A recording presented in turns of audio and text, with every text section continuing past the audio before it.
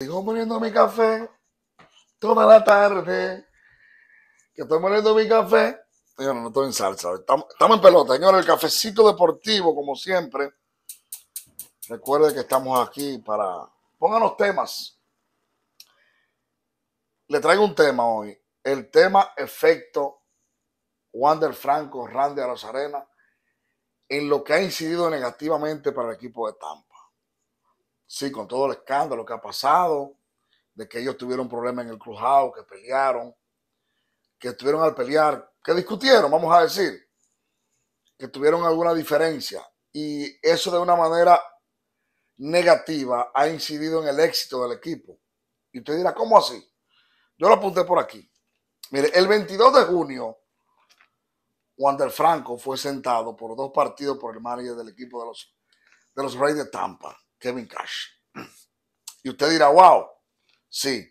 El 22 de junio, el equipo de Tampa tenía 52 victorias y 26 derrotas.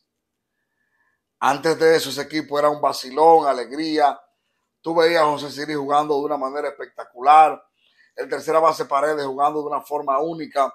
Randy a los Arena con, con su forma habitual de todo alegría en el juego. Wander Franco. O sea, ese equipo se veía con una química impactante, sellada. Yandy Díaz, todo el equipo. Era un equipo que tú lo veías como que iban a dar 100 partidos fácil al 22 de junio, al día de hoy que estamos hoy, tienen 60 victorias con 36 derrotas. Solamente del 22 de junio al día de hoy, que estamos 18 de julio, casi un mes después, amén de los días libres del juego de estrellas, Honron Derby, cuatro días libres, quítale. Son 26 días. El equipo solamente tiene 60 victorias con 36 derrotas. O sea, que en los últimos 20 días el equipo ha ganado 11, ha, perdido 11 y ha ganado 8 victorias. O sea, que se ha visto cómo el equipo ha perdido Laura, cómo el equipo ha perdido ese momentum que traía. No es que tenía que ganar todos los partidos, no es que tiene que ser el equipo único en Grandes Ligas, pero los Orioles estaban a 7 u 8, están a 1 al día de hoy del equipo de los Rays. Pero el equipo, por ejemplo, de Toronto, los Blue Jays, están a 5 y medio, que se vieron a 11 partidos. A menos de que Boston está allá y los Yankees allá abajo a 8 9 partidos del primer lugar. Miren como un aura, como un problema entre dos jugadores que sí existió que hay mucha gente que está perdido en, el océano, eh, perdido en mucha agua, creyendo que el rol del periodista es esconder lo que pasa.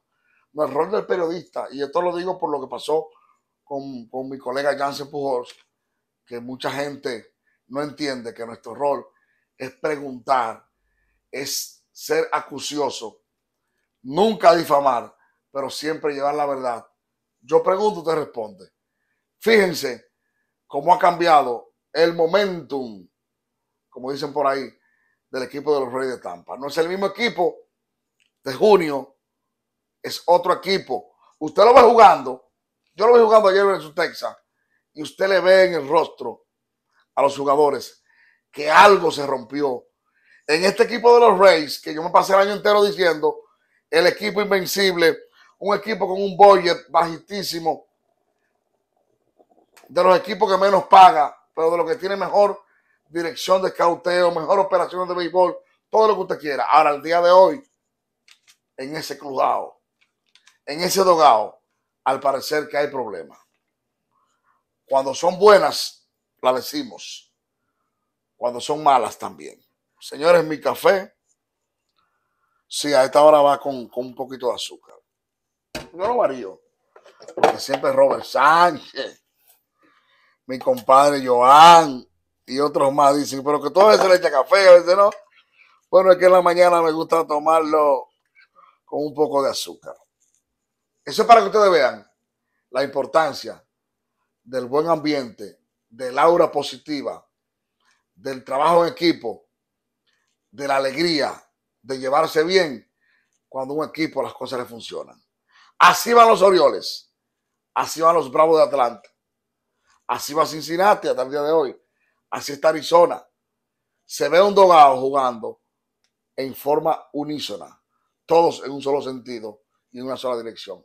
Ojalá que los problemas de, los Rays de Tampa se arreglen en el camino y ellos puedan seguir siendo ese equipo alegre y positivo que siempre ha mostrado ser. Café, moliendo mi café